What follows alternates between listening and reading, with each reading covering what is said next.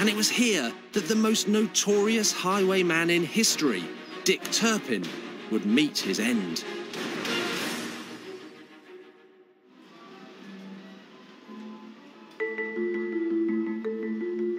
York Castle has witnessed religious persecution, torture, execution, and all out war.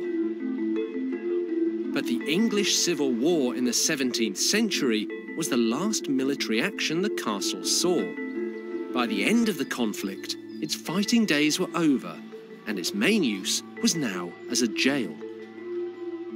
Criminals were held in cells within the wall, which once encircled the broad area of the castle in front of the central tower. They were waiting for travelling judges to come and hear their cases, but that only happened twice a year.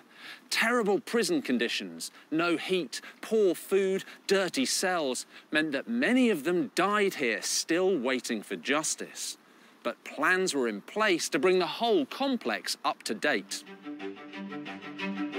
The old medieval buildings in front of the castle were demolished, and a new purpose-built prison was opened in 1705. This prison was one of the first in Britain designed to house both male and female prisoners. Its most famous inmate was one of the most celebrated outlaws in English history.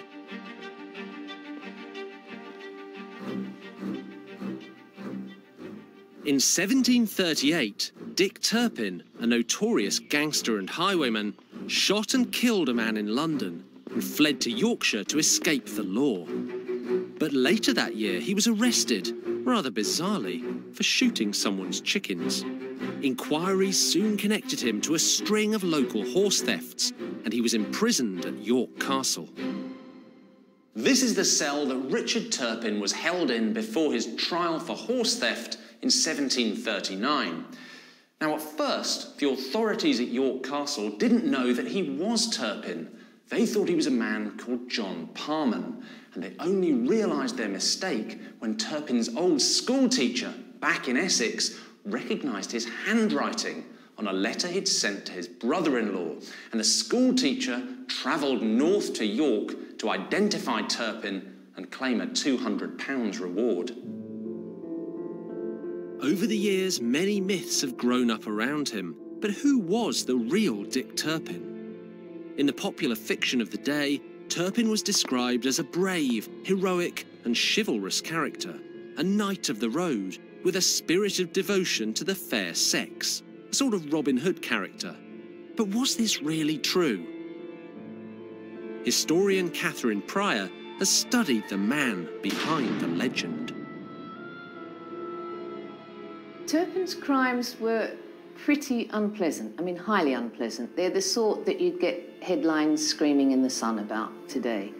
Uh, torture, murder, point blank murder.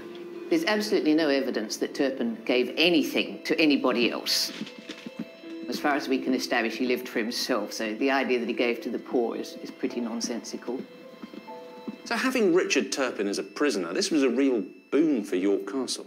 It was a real boon for the jailer because in those days jails were commercial enterprises. They weren't um, run by the state.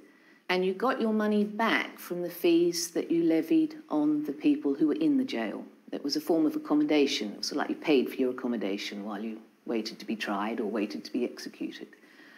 And Richard Turpin lived it up um, rather grandly while he was here.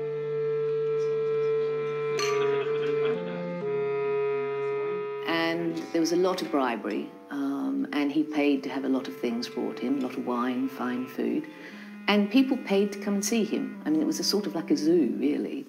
In the 18th century, horse theft was a capital crime. So when Turpin was found guilty, there was only one sentence death. A couple of days before he died, he shelled out some money and got a new frock coat and new shoes and he paid five men to be his mourners or pallbearers. He was seen to be quite calm going up. There's an account saying that his right leg wobbled a bit and he slapped it down very firmly and climbed the ladder in a manly fashion. And then he stayed talking with the chap who was going to pull the ladder away for about half an hour. Everyone, it's described now as bravado, but you sort of think he was probably hoping maybe, maybe there'll be a last minute reprieve. Um, but there wasn't. And so the, the ladder was pulled away and he died.